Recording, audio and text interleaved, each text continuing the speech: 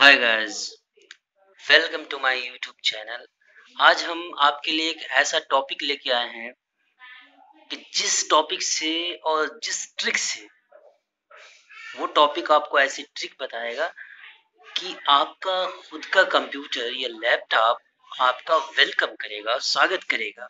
जी हाँ सही सुना। जब आप अपने कंप्यूटर को ऑन करेंगे या लैपटॉप को ऑन करेंगे तो वो आपका नाम लेगा। जैसे कि ये हमारा लैपटॉप है, हम इसको ऑन करते हैं। मैंने ऑन किया तो अभी जब ये ऑन होगा तो ये हमारा नाम लेगा। देखिए, ये कंप्यूटर हमारा ऑन हो रहा है, यानी कि लैपटॉप ऑन हो रहा है। अभी इसमें हम पासवर्ड इनपुट करते हैं।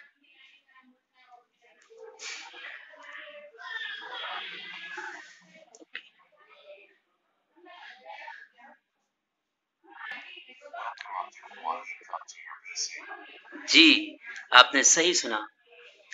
इसने हमारा नाम लिया है कि welcome Abdul Wahid Khan to your PC आप भी अगर चाहते हैं कि आपका कंप्यूटर आपका लैपटॉप आपका इसी तरह नाम ले तो आप देखते रहिए इस वीडियो को। अगर आपने हमारे यूट्यूब चैनल को सब्सक्राइब नहीं किया तो प्लीज़ सब्सक्राइब कर करने।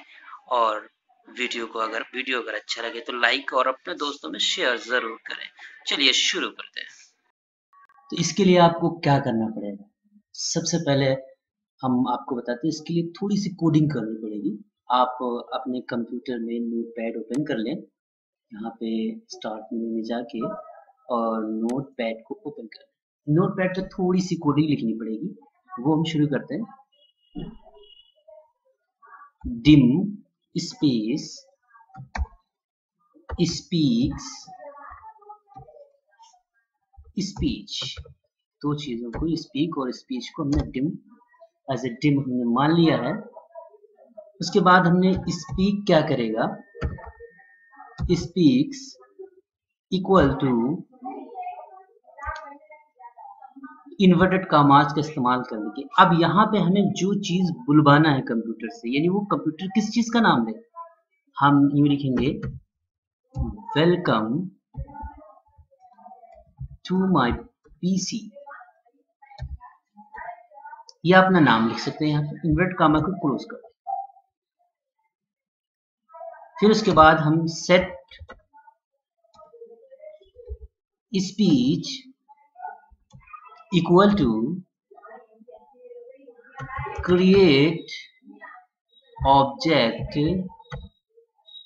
inverted comma start bracket start, invert comma start, और यहाँ पे लिखेंगे S A P I dot S P V O I C S P voice और इनवर्ट कामा क्लोज और ब्रैकेट क्लोज कर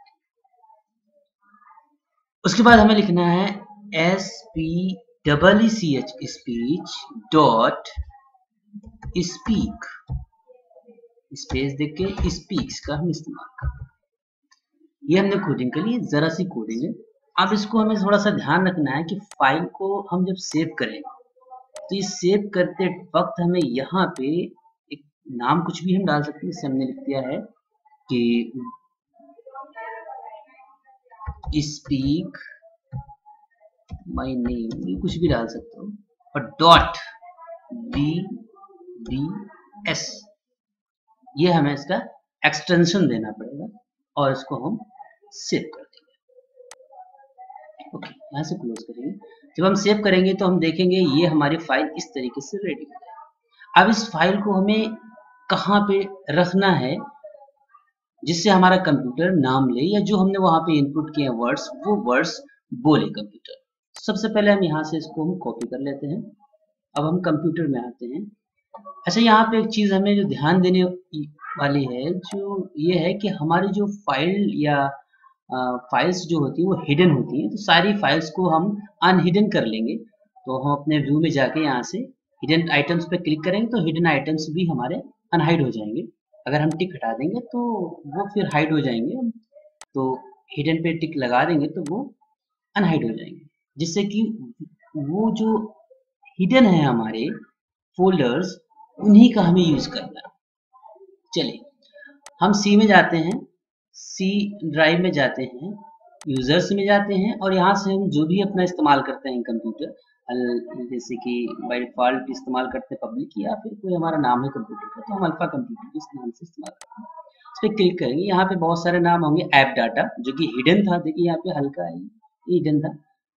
या नाइड हो गया, अब इस पर हम फिर से ओपन करते हैं इसको। अब फिर उसके बाद हम यहाँ पे लोकल लोकल लोकल लो है रोमिंग रोमिंग में जाते हैं। रोमिंग में जाने के बाद माइक्रोसॉफ्ट ओके माइक्रोसॉफ्ट में जाएँगे हम। माइक्रोसॉफ्ट में जाने के बाद हम विंडोज़ में जाएँगे।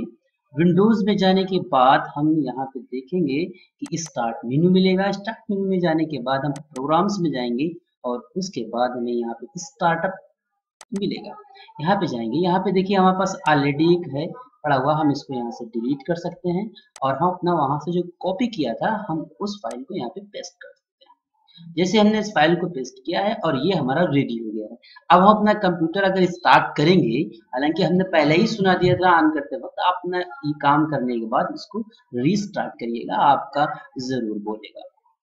अगर आपको ये हमारा वीडियो अच्छा लगा है तो हमारे चैनल को सब्सक्राइब करें, वीडियो को लाइक करें और लोगों में उसको शेयर ज़रूर करें। थैंक यू शुक्रिया।